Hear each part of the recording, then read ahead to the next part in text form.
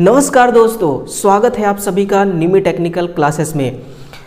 आज के इस वीडियो में हम देखेंगे कि जो आपका पीजीसीएल की वैकेंसी रनिंग में चल रही है, जिसका फॉर्म अप्लाई करने का डेट तय किया गया था 22 नवंबर को। लेकिन कुछ टेक्निकल एरर्स के कारण, टेक्निकल इशू के कारण उनका जो लिंक था, वेबसाइट था, उन्होंने तो एक्टिव कर दिया, लेकिन वो लिंक चल नहीं रहा था, वो वेबसाइट चल नहीं रही थी, है ना? तो देखिए, वो प्रोसेस क्या है? आपको फॉर्म अप्लाई करना कैसे है है ना? क्योंकि कई बार ऐसा होता है कि कैंडिडेट फॉर्म तो अप्लाई कर देता है, लेकिन बाद में उनको पता चलता है कि भाई उनका फॉर्म ही रिजेक्ट हो गया। इधर वो कड़ी मेहनत कर रहे हैं, तपस्या कर रहे हैं, तैयारी में दिन रात एक कर रहे हैं, लेकिन बाद में पता चला कि उनका फॉर्म ही रिजेक्ट हो गया। बाद में पता चला कि फॉर्म तो हमने अप्लाई किया, लेकिन हमारा एडमिट कार्ड ही जारी नहीं हुई। तो ऐसा प्रॉब्लम आपके साथ ना है इसलिए हम प्रोसेस को समझेंगे कि कैसे कैसे आपको इसमें फॉर्म को अप्लाई करना है है ना? देखिएगा सबसे पहले आपको कौन सा कदम उठाना है कि किसी भी ब्राउज़र को, यानी कि आप गूगल को ओपन कीजिएगा और वहाँ पर सर्च बॉक्स में टाइप कीजिएगा। सर्च बॉक्स में टाइप कीजिएगा पावर ग्रिड डॉट इन जैसे ही पावर ग्रिड डॉट इन आप लिखेंगे, सर्च कीजिएगा, उसके बाद फ़र्स्ट ऊपर में, है ना, पहला आपको आएगा एक ओपनिंग का ऑप्शन। ओपनिंग को आप क्लिक करेंगे, है ना। कैसा ओपनिंग आएगा, मैं आपको वो प्रोसेस स्टेप बाय स्टेप बताता चलता हूँ। ये रही ओपनिंग है ना? ऐसा एक ऑप्शन आएगी। इस ऑप्शन को आप क्लिक करिएगा। क्लिक करते ही ये पॉपअप आपको खुल जाएगी। ये पॉपअप खुलते ही आपको क्या करना है? नीचे स्क्रॉल करना है और ये जो नंबरिंग चल रही है ना वन टू थ्री आपको इसको कहाँ तक लेकर के जाना है? बीस नंबर तक। कहाँ तक? बीसवें नंबर तक लेके इसको आपको जाना है, यानी कि स्क्रॉल करते रहना है। यहाँ पर एक ऑप्शन आ रही है, देखिए रीजनल ओपनिंग, यानी कि क्षेत्रीय भर्ती है ये, है ना? तो थोड़ा सा आप और स्क्रॉल कीजिएगा। ये रही आपकी recruitment of junior technician training electrician है ना? ये एडवर्टीज नंबर और ये डेट है। अगर आप चाहें तो ये एप्लीकेशन यहीं से डाउनलोड भी कर सकते हैं एडवर्टीज को। और यहाँ पर एक ऑप्शन है क्लिक हेयर टू रजिस्टर या log in and apply log in भी कर सकते हैं रजिस्टर भी कर सकते हैं, यहीं से अप्लाई भी कर सकते हैं। तो चलिए हम प्रोसेस को समझते हैं। हम यहाँ से अप्लाई का ऑप्शन पे क्लिक करते हैं। और क्लिक करते ही ये एक पॉपअप आपके सामने खुलेगी, है ना? सबसे पहला विंडो जो खुली है, ये क्या कह रही है कि कैंडिडेट लॉगिन यानी कि आप कैंडिडेट हैं, आप इसको लॉगिन करेंगे। लॉगिन करने के लिए आपके पास दो ऑप्शन है। क्या क्या है? या तो मोबाइल नंबर डाल के करिए, या फिर ईमेल नंबर डाल के करिए। याद रखिएगा पर्सनल मोबाइल नंबर होना चाहिए पर्सनल ईमेल आईडी होनी चाहिए, है ना? और ये जो कैप्चा है, इसको यहाँ पर भर देना है। भरने के बाद न्यू रजिस्टर पर आपको क्या करना है? क्लिक करना है। चलिए मैं करके दिखाता हूँ न्यू रजिस्टर रजिस्ट्रेशन आप कर रहे हैं न्यू कैंडिडेट है, पहली बार फॉर्म भर रहे हैं तो आप इसको करिए।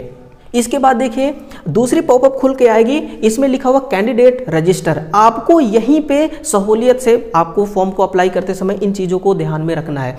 ईमेल आईडी बोला गया है तो आपको कौन सा ईमेल आईडी डालना है? कई बार ऐसा होता है कि आप एक ही ईमेल आईडी चलाते हैं, उसी ईमेल आईडी को बैंक में भी दे रखे होते हैं। कई सारे एप्लीकेशन कई सारे वेबसाइट को लॉगिन परमिशन दिए हुए होते हैं लॉगिन किए हुए होते हैं। तो ऐसा ईमेल आईडी आपको नहीं डालना है। आपको अपना एक अलग से पर्सनल ईमेल आईडी बनाइए, है ना? और उसी ईमेल आईडी को यहाँ पर फिल कीजिएगा।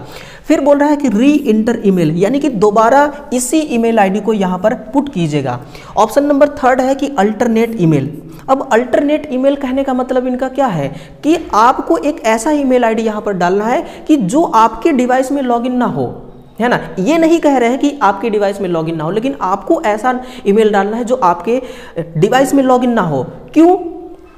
क्योंकि कई बार ऐसा होता है कि फ़ोन ही हमारी ख़राब हो जाती है, फ़ोन खो जाती है, फ़ोन चोरी हो जाती है है ना? तो इस केस में आपका ईमेल तो फिर गया ना? तो आप एक काम कीजिए, अगर आपके पिताजी, आपके फादर का अगर ईमेल आईडी है, उनका ईमेल आईडी डालिए, अन्यथा आप अपने बड़े भाई का भी ईमेल आईडी डाल सकते हैं, है ना? यानी कि आपको अदर मतलब कि अदर डिवाइस में जो ईमेल आईडी लॉगिन है, उसी को आप डालिएगा। Alternate email. फिर यहाँ पर है आपको मोबाइल नंबर। अब मोबाइल नंबर में भी गलती हो सकती है। कैसे? यूँ समझिए कि आपके पास एक ही एक ही सिम है है ना? एक सिम है या फिर दो ही सिम है समझिए। आपने ऐसा मोबाइल नंबर डाल दिया जिसमें आप कभी रिचार्ज नहीं कराते। ऐसा आपने मोबाइल नंबर डाल दिया कि यूँ समझिए कि दुनिया भर के लोगों से आप उसी मोबाइल नंबर से बात कर रहे हैं। हो सकता है कि आपकी जो जी हो, है ना? जो गर्लफ्रेंड हो या बी हो, आप जब तक मामला सही चलता है तब तो तो ठीक रहता है, कोई दिक्कत नहीं। जब ब्रेकअप होती है तब दिक्कत आती है। यानी कि अपनी गर्लफ्रेंड को हटाने के लिए आप नंबर को ही हटा देते हैं। अगर आपने नंबर हटा दिया तो फिर आप रजिस्ट्रेशन ना पीजीसीएल अगर उसको कुछ भेजना होगा ओटीपी वगैरह ओटीपी नहीं, कुछ मैसेज भेजना होगा तो वो नहीं भेज सकता। इसलिए आपको मोबाइल नंबर अपना पर्सनल खुद का डालना होगा। और विदाउट लीडिंग यानी कि आपको शुरू में ज़ीरो नहीं लगाना है, ना ही प्लस नाइन वन लगाना है, वो खुद ब खुद सिलेक्ट कर लेगा। इसके बाद आपको एक अल्टरनेट मोबाइल भी डालना है। आप अपने पिताजी या अपने बड़े भाई का डाल सकते हैं। फिर यहाँ पर देखिए, जो कैप्चा कोड दिया गया है, उस कैप्चा कोड को डालिएगा, है ना? कैप्चा कोड को डालने के बाद देखिए, नीचे रजिस्टर का भी ऑप्शन है। ये जो रजिस्टर का ऑप्शन है और ये लॉगिन पेज का ऑप्शन है। ये लॉगिन वाले पेज ऑप्शन को आपको क्लिक करना है। जैसे ही आप इसको क्लिक करेंगे क्लिक करते ही देखिए क्या होगा, आपके सामने और कुछ नहीं, मैं आपको बता रहा हूँ क्या खुलने वाली है। यानी कि यहाँ पर एक ऑप्शन खुलेगी, जिसमें आपको सिलेक्ट करना होगा अपना रीज़न ये देखिए, जैसे कि ये आपका रीजन है अलग अलग रीजन में आप आप एक ही रीजन में फॉर्म को अप्लाई कर सकते हैं। अब यहाँ पर रीजन कितने हैं? देखिए, एक, दो, तीन, चार, पाँच छः सात, आठ, नौ। टोटल नौ रीजन में ये वैकेंसी है। आप एक कैंडिडेट हैं तो एक ही कैंडिडेट सिंगल कैंडिडेट सिंगल ही रीजन में फॉर्म को अप्लाई कर सकता है। अब यहाँ से कैंडिडेट मिस्टेक उनसे क्या होता है? अगर आप मध्य प्रदेश के निवासी हैं, देखिए, अगर आप कहाँ के हैं? मध्य प्रदेश के। तो आप, आपको फॉर्म कहाँ पर भरना चाहिए? जैसे कि आपका ये रीजन है नॉर्दर्न रीजन थर्ड और वेस्टर्न रीजन सेकेंड क्योंकि इसमें देखिए पार्ट ऑफ़ मध्य प्रदेश। मध्य प्रदेश का भी कुछ हिस्सा आ रहा है, यहाँ पर भी मध्य प्रदेश का कुछ हिस्सा आ रहा है। अब आप ऐसा नहीं कि आपको थर्ड में भी थर्ड में ही भरना है या फिर वेस्टर्न रेलवे सेकेंड में ही भरना है। आप किसी में भी भर सकते हैं, है ना? लेकिन आप देखिए, कई सारे वैकेंसी ऐसे भी होते हैं कि आप कहीं भी फॉर्म अप्लाई कर रहे हैं, किसी भी रीजन में, किसी भी एरिया में आपको, अगर आपका सिलेक्शन हो जाता है, आपकी सर्विस लग जाती है। लेकिन कुछ टाइम बाद ऐसा होता है कि वहाँ से आपका ट्रांसफ़र होकर आपके स्टेट में हो जाती है है ना? लेकिन इसमें ऐसा नहीं होता है। अगर आप मान लीजिए कि ये दिल्ली वाले रीजन में फॉर्म अप्लाई किया आपने और आपका सिलेक्शन दिल्ली में हो गया तो फिर आपका ट्रांसफ़र कभी भी नहीं होगा जहाँ पर आप चाहेंगे। इसलिए आप अपने स्टेट में, अगर आप मध्य प्रदेश के हैं तो फिर आप रीजन थर्ड या फिर वेस्टर्न रीजन सेकेंड में ही फॉर्म को अप्लाई कीजिएगा, है ना? ये रही मिस्टेक यहाँ भी स्टूडेंट मिस्टेक कर देते हैं।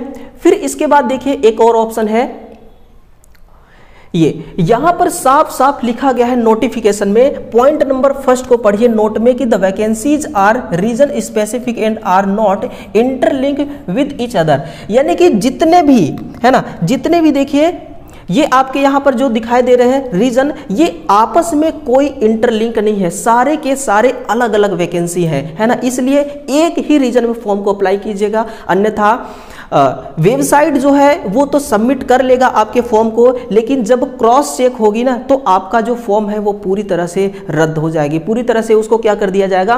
कैंसिल कर दिया जाएगा रिजेक्ट कर दिया जाएगा। इसलिए आप फॉर्म को अप्लाई करते समय इन सभी बातों को ध्यान में ज़रूर रखिएगा, है ना?